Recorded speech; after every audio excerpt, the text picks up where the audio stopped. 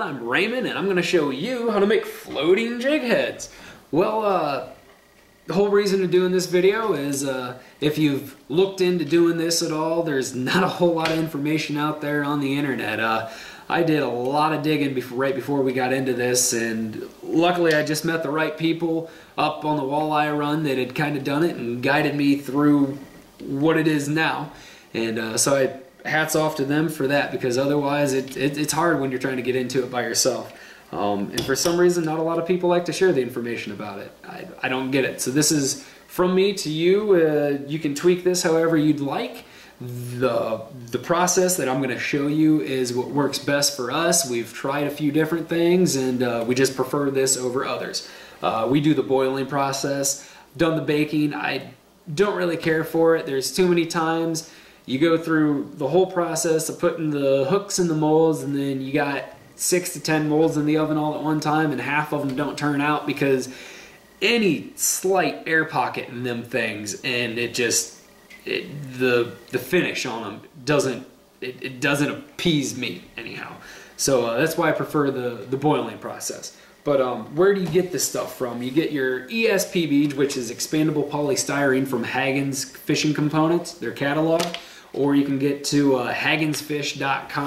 Uh, you can get it shipped to your house in a 10 pound, two gallon bucket for about 50, 55 bucks, I believe is the last time I ordered it. Um, they're originally intended for crankbaits. They can make, they say the 10 pound bucket will make about 750 crankbaits. But um, just a good guesstimate is if you're making the quarter ounce jig heads, you're going to get about 10 to 12,000 jig heads depending on how busy you and a few buddies maybe want to be. Um, that's a that's a lot of jig heads to go through. But anyhow, I got the do it mold here. I got the quarter ounce for uh, demonstrational purposes. We also do the the eighth ounce one as well. Um, but just for demonstration purposes, I'm gonna I'm gonna use the quarter ounce. Um, you're gonna need a C clamp you can get these at Harbor Freight for they run them on sale for like a buck fifty or anything like that. Um, and your hooks, the the hooks are an argument I think you could have with anybody. Uh, a lot of people like the Mustad and they're great. Yeah, I've used them. I got no complaints other than the price because compared to some other brands out there, the Mustads are the most expensive. I use the VMC brand of hooks. Uh, they're about half the price as mustads, and I I believe that they're the exact same quality and durability as the mustads as well. Um, for the quarter ounce, we use a, a one aught black nickel hook. It just seems to work the best. I believe the largest you can go is a two aught because from your the shank to the tip, so from the hook up to the tip here, the largest that gap can be is a half an inch, and I want to say that a 2 aught is a half inch on the money. So we go with the 1 aught just because I like to stay safe.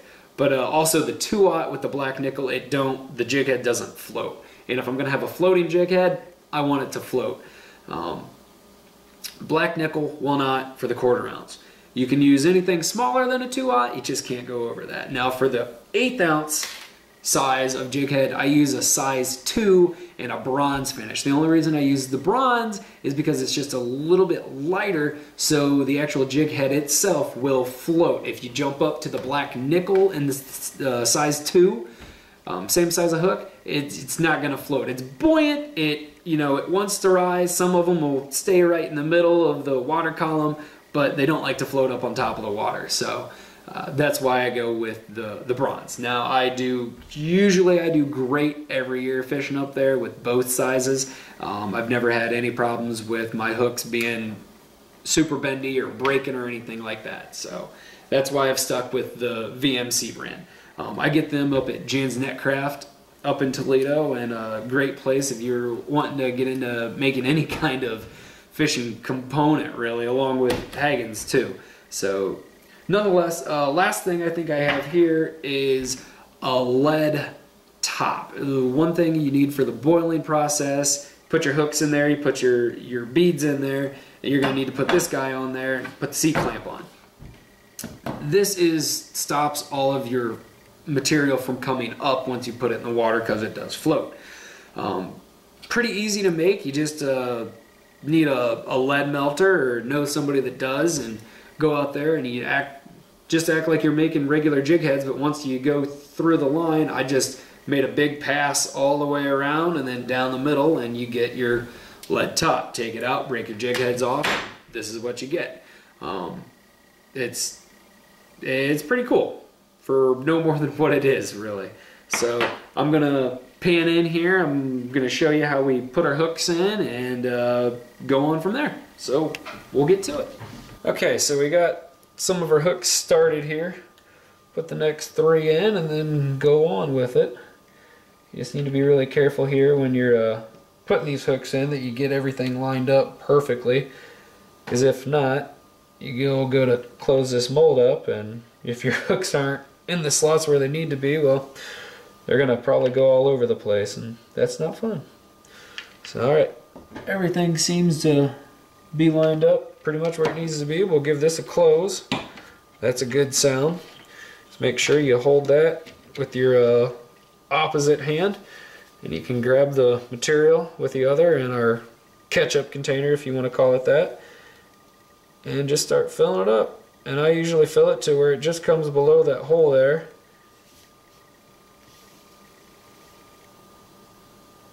because this stuff will expand quite a bit. If you choose to use these condiment containers, uh, sometimes you might need to give it a squeeze. Those beads will get stuck on themselves. But for the most part, it works out pretty good. That one I got a little much in, so give suck some of that out. We'll put this topper on here. Throw the C-clamp on.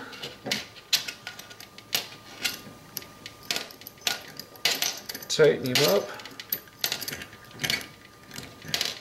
And he is good to go. Alright, so we have our pot of water boiling here. Um, so you don't burn yourself, you're going to want to get yourself a pair of channel locks or vice grips, big pair of pliers, whatever you want to want to use to put it in there.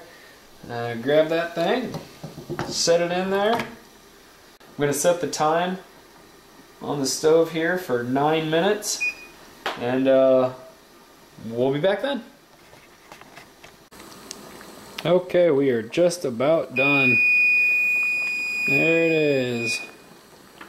shut that off and uh, grab this here. Also, be very, very careful when doing this. I'll make sure you let this drip off a little bit.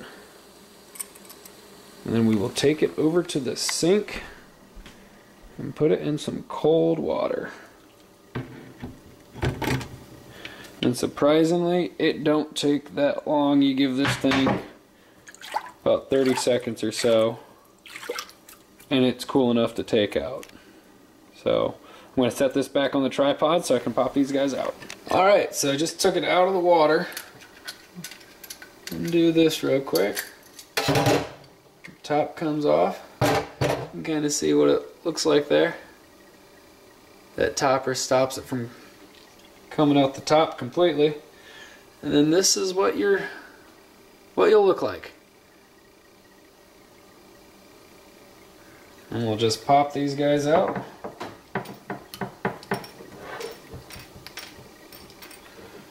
And then on to the next batch you go. All right, well, hey, that is just about it as far as making the actual jig heads themselves go. It's rather self-explanatory and pretty simple process once you get it down. Um, one big tip I would say is uh, if you have multiple molds going at one time, make sure you're drying them out. Um, with any kind of a dishcloth, I prefer uh, keep a small air compressor out in the garage with an air nozzle on it. And uh, once I take the jig heads out, I'll take them out to the garage, I'll blow them out. And when they're dry, bring them back in, and then you can kind of continue your process. If you don't, uh, and you go to put these beads back in there with any kind of moisture in the mold or on top of it, it's going to cling to that moisture like uh, static electricity or something almost. So you'll have air pockets down in the cavity. Um, sometimes it'll fill up the hole. It won't even let you pour material into the top of it. It'll just fill that hole up. Um, so that, that's my big tip there is make sure you're drying the molds out before you're putting your, your beads back in again. So uh, next step I want to do is um, the painting process. So there's a whole world out there of different kind of paints you can use, but I'll take you down to the basement and show you how I do mine, what kind of paints I use, and then um, once that dries, I can uh, show you how I do a clear coat. So uh, let's head down there and we'll start doing that.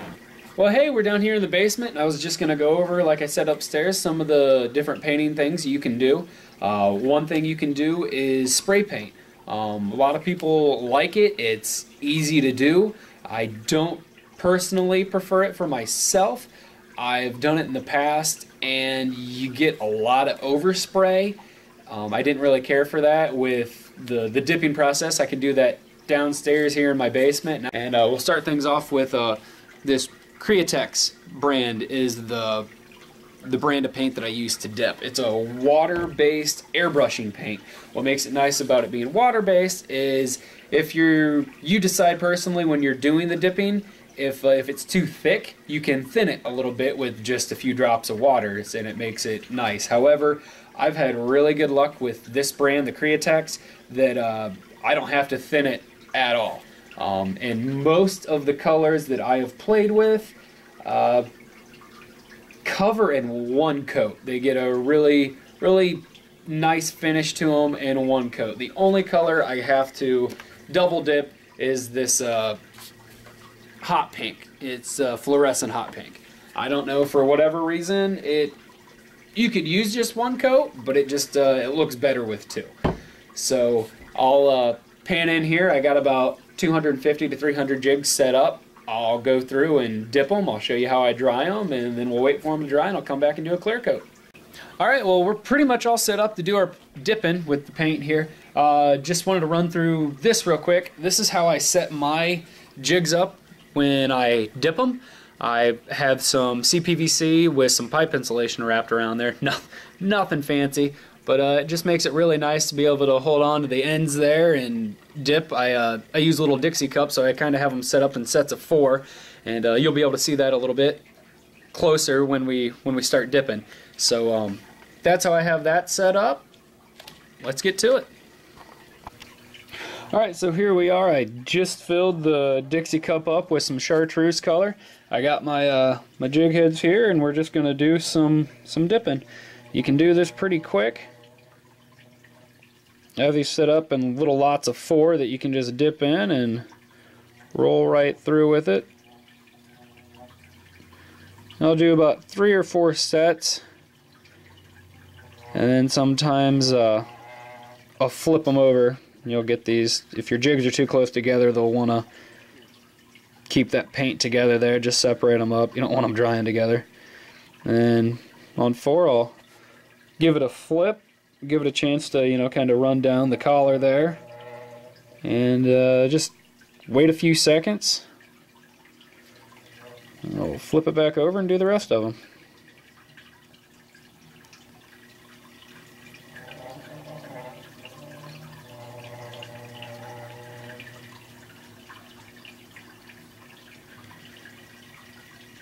one little loner. Alright, and that is it as far as painting them goes. Uh, I'm going to take this over to the drying rack and hang it up. Alright, so we're here at the rack. Just going to pause that guy. Put this on here, and I just got a couple of clamps I put on on the ends.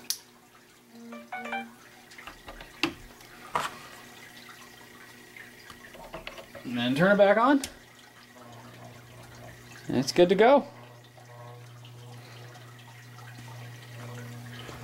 We'll get this thing uh, filled up with a couple more colors and uh, let them dry. Alright, we are all loaded up. There's approximately 300 jigs on there. And just got some different colors going on. Uh, tried a new one. I think it's coming around right now. Tried this gold color here. So we'll see how that how that does this year. But uh that's what that is. So we'll let all these dry then come back for a clear coat. Alright guys, well hey, here we are with our final step in making our jigs. We're going to put a clear coat on. One thing I would like to mention before we do so is if you want to put eyes on your jigs, right now is going to be the time to do that. You know, we've let our paint dry, we've let it cure up, so now is going to be that time to put them eyes on before the clear coat. If you want to use a Sharpie marker, you can do that, put a dot on each side. Some people like to use paint pens. Uh, I've even done in the past where I've taken a finishing nail and I'll have a little pile of black paint sitting there, dip the finishing nail in that, tap each side of the jig, works just as well, and then uh, you let that dry and then you can put a clear coat on. However, it's a lengthy process in doing so, and I catch just as many fish without eyes as I do with. So I, I just prefer not to do it. But uh, on with the clear coat, we'll uh, get down to it. This is the product that I use. It's called CS Coatings Seal Coat. It's a one step, no measure, no mess sort of thing. It's already, it's a dipping process. All you got to do is dip them in there and it's good to go. So open this thing up. Dump our stuff in there.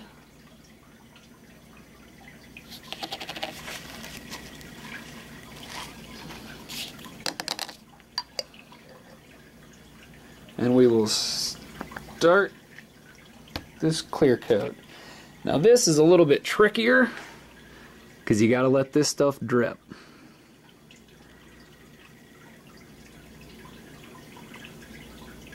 It's about as much fun as watching paint dry.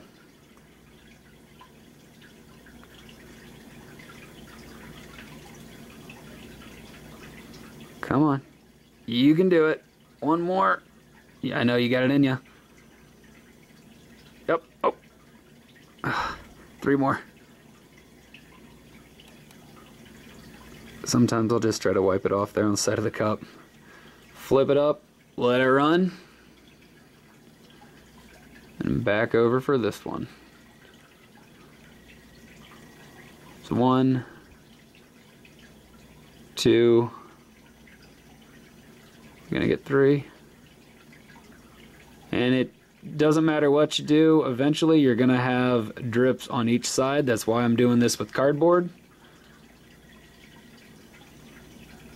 Just letting it run down. Come back and do it again. Two they just want to be together.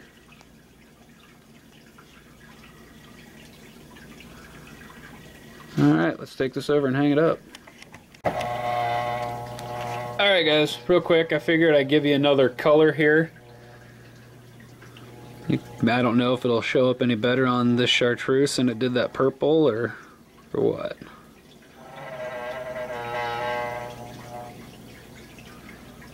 Drip, drip, drip. Flip.